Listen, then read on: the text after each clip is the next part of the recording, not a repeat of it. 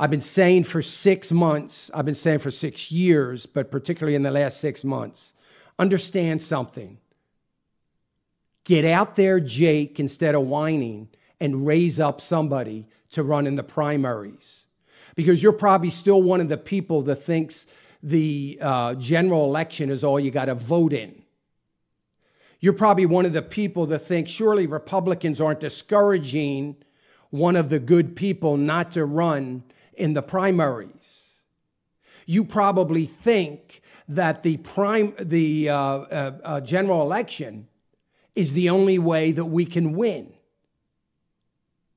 You're living in some sort of twilight zone because until we send a message to Republicans that they're not going to just do whatever they want and get reelected and reelected and reelected, I'm sorry, brother, you're the one that's out of your mind. It's not me because that's business as usual for the last 20 years of our election process.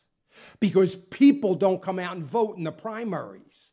People don't rise, raise up. Jake, if you feel that's wrong, you should be running in a primary. If you're a businessman, you should be running in the primary.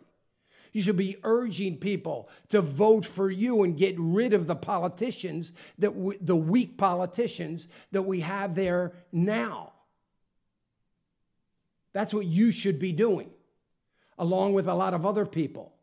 Because if you think, well, let's just sit back and wait for the primary and then vote Republican again, good luck with that. Because until we throw them all out, they're never going to change until the people stand up and fire them. They work for us. And until they get fired and know that if they mess up, they're going to get fired again, we're doomed. But you are, you're the, you're the, you're, uh, what you're saying is the problem. At all costs, you got to vote for the Republican. At all costs, you got to vote for him. Doesn't matter. You got to vote. Mitch McConnell's running again, vote for him. If you're a Republican in Kentucky, you have to vote for Mitch McConnell.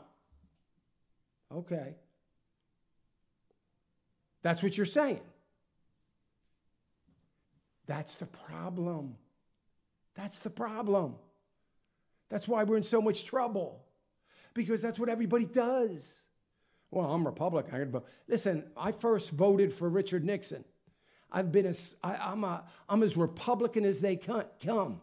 I make Ronald Reagan look like Michael Moore. I'm so conservative, but I'm a realist.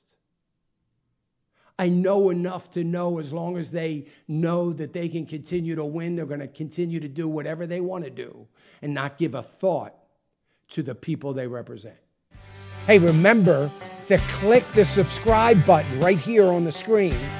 And don't forget to hit the notification bell so you'll be notified when new content is added.